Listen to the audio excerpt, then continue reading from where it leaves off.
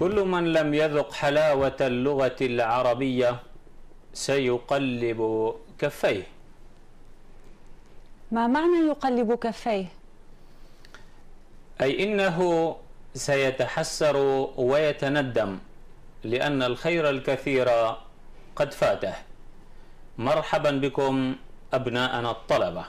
في درس جديد من دروس اللغة العربية. مرحبا بك أستاذ نعيم. مرحبا بكم أبناءنا الطلاب في مبحث جديد من مباحث اللغة العربية. درسنا اليوم هو درس الكناية. أستاذ نعيم في أي باب يندرج مبحث الكناية من أبواب البلاغة؟ أبناءنا الطلبة نستذكر وإياكم أقسام البلاغة فهي ثلاثة علوم علم البيان وعلم المعاني وعلم البديع. أما علم البيان فيتفرع إلى ثلاثة أقسام. الأول هو التشبيه والثاني هو الاستعارة والثالث هو الكناية. واليوم جولتنا في حديقة الكناية. إليكم الأنباء بالتفصيل. لنتابع المثال الآتي. فلان لا يضع العصا عن عاتقه.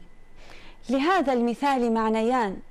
الأول أن عصاه محمولة على كتفه دائما والثاني أنه كثير ودائم السفر والترحال.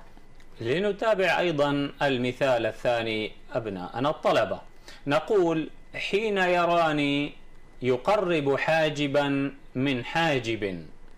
ولهذه الجملة معنيان أيضا. أما المعنى الأول فهو تقريب الحاجبين. وأما المعنى الثاني فهو سوء العشرة. الآن ما هو تعريف الكناية وما هي أهمية الكناية في اللغة العربية مع الآنسة علا؟ نعم.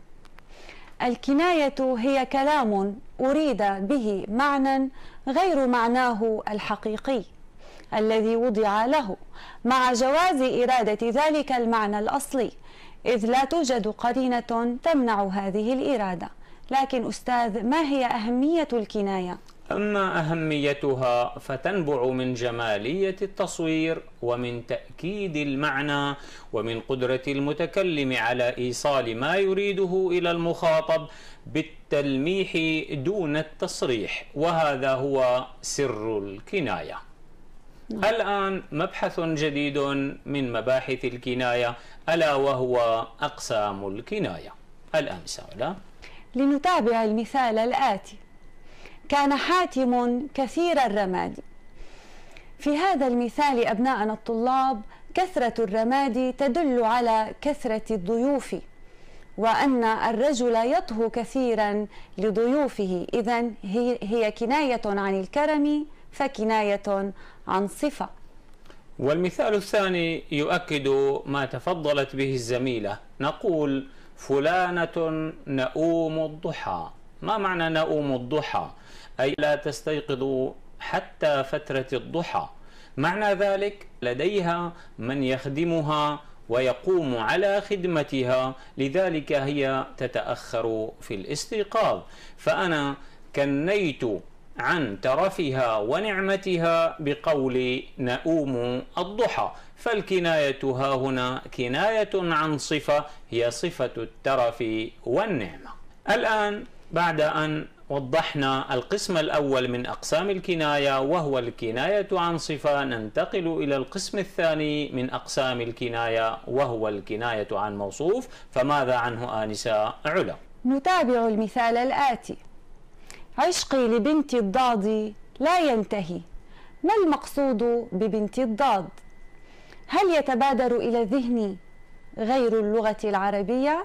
إذا هنا بنت الضاد كناية عن اللغة العربية فهي كناية عن موصوف. نعزز أيضا الكناية عن موصوف بمثال آخر. نقول في القحط والمحل ننتظر قدوم ابن الغمام. من هو ابن الغمام الذي ينتظره الناس أيام القحط والمحل؟ نلاحظ أنه قطر السماء أي مطر السماء. فالمراد بابن الغمام المطر. وفي الكلام هنا كناية عن موصوف هو المطر. إذا نصل إلى نتيجة مفادها أن النوع الثاني من أنواع الكناية هو الكناية عن موصوف. فما بال النوع الثالث آنسة علا؟ نعم. النوع الثالث هو الكناية عن نسبة. لنتابع المثال الآتي. المجد بين برديه. نسب القائل المجد إلى شيء يتعلق بالممدوح ولم ينسبه إليه مباشرة. المثال الثاني يقول الجود في رحاله. ما قال القائل بأن فلانا جواد إنما نسب الجود إلى الرحال وهذا ما يصطلح عليه في علم البلاغة بالكناية عن نسبة. إذا فالقسم الثالث من أقسام الكناية هو الكناية عن نسبة. الآن نصل إلى نهاية المطاف في درس الكناية. لنتعرف أقسام الكناية مجملة وبالتفصيل مع الآنسة علا. نعم. أقسام الكناية أبناءنا كناية عن صفة وكناية عن موصوف وكناية عن نسبة. نتابع مع الأستاذ.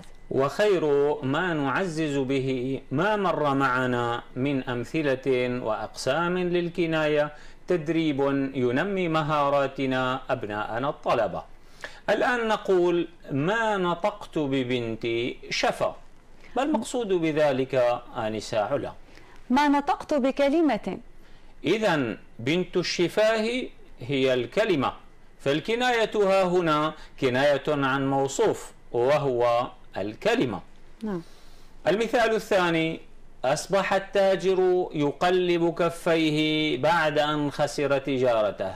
فما نعم. المعنى المراد آنسة؟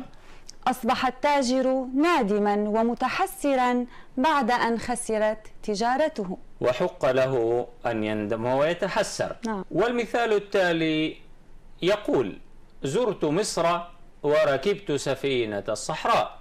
فما هي سفينة الصحراء؟ ركبت الجمل. إذا الكناية هنا كناية عن موصوف وهو الجمل. وجمالية الكناية عن موصوف أنه لا يحتمل أن يكون لأمر آخر. فحين نقول سفينة الصحراء فالأمر مخصوص ومحصور ومقصور بالجمل, بالجمل.